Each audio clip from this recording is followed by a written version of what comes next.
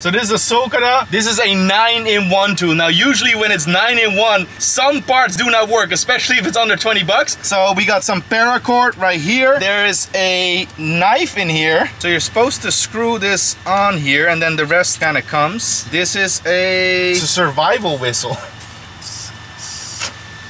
Let me see. If I take this off, I should be able to whistle it or something.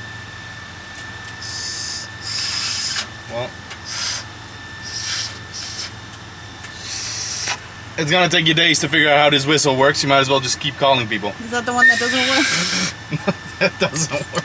The whistle, uh, not maybe maybe there's a special way to do this. So you got your survival whistle, which we tried, which didn't really work. There's a fire starter right here. You got to screw this back on, and then you get your knife.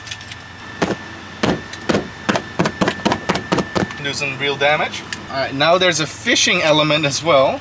Look, there's some lead and some fishing tools. So that's pretty cool.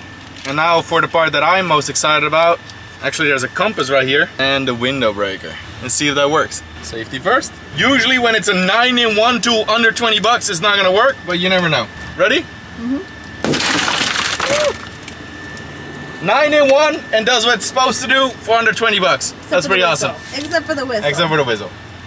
Well, once you break the window, you just can't call for help by the whistle.